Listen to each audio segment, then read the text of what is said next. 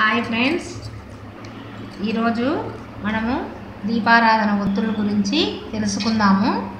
ఆ ఒత్తులు పత్తి నీట్గా ఇలాగా విడగదీసుకున్న తర్వాత రోజువారీ ఒత్తులు మనము ఇలాగా కొంచెం కొంచెం తీసుకొని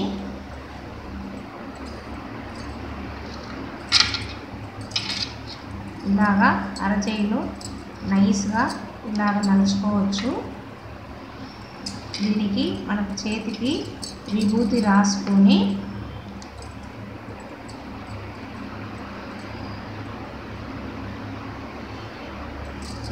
ఇలాగ ఒత్తులు ఎంత సైజు కావాలంటే మనము అంత సైజు చేసుకోవచ్చు.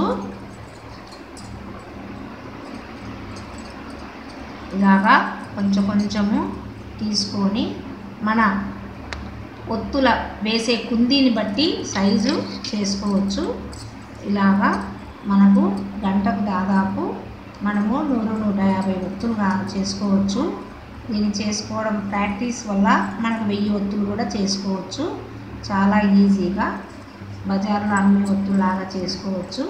ఇవి ఇలాగ చేసుకొని ఇట్లాగ అన్నీ బాక్స్లో పెట్టుకోవడం వల్ల మనము రోజువారీ ఒత్తులు రెండు రెండు కానీ ఇలాగ మూడు మూడు కానీ వెలిగించుకోవచ్చు అనేది దొరుకుతుంది.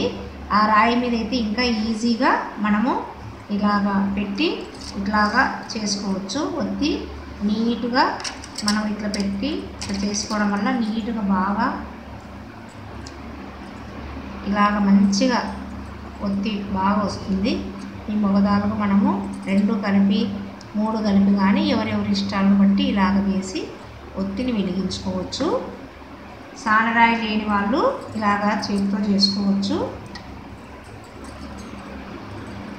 సానరాయి లేని వాళ్ళు చేతితో ఇలాగా చేసుకోవచ్చు. మరి కాశీ పుల్లలని ఇంతకుముందు దొరికేవి.